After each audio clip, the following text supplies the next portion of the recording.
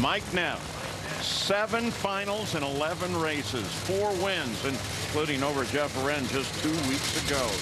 Tell you what, Neff's really coming into his own. He's having what we call a career year.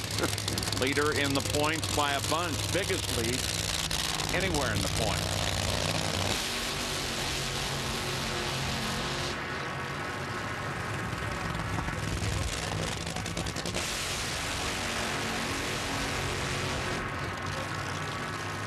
We talk a lot about the changes the teams have to make to battle the thin air here on the mountain at Bandimere Speedway.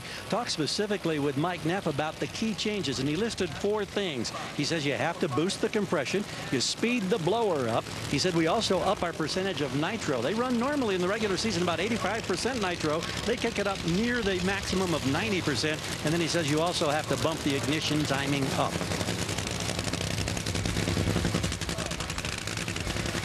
Races this year, and John Force has yet to win a race. Jokingly, I asked him about team orders. John Force looked at me and laughed, and he said, heck, Mike Neff, he ain't even coming up here to the starting line this round. Typical John Force joking, but this is a very, very serious race for Force. And remember that he blew the body off in qualifying. They obviously uh, have that ready to go once again, but uh, John Force has got his work cut out because Mike Neff generally beats him when they go head to head. Yeah, especially this year because Mike yeah. Has a great race car. That's a new body for John Force. Got all kinds of bodies in there. John's got a lot of money. In fact, he's going to share it with us, right, Mike? That's right. Yeah, right.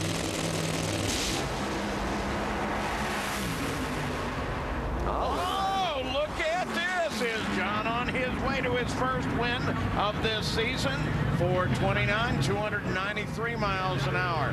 He goes to his second semi of the year. And maybe he will keep this car.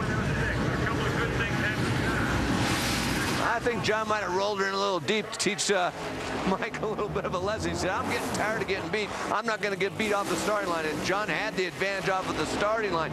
But Zippy, he had made it up by the 330-foot mark. But then shortly after that, he started spinning the tires, and John streaks away for the win.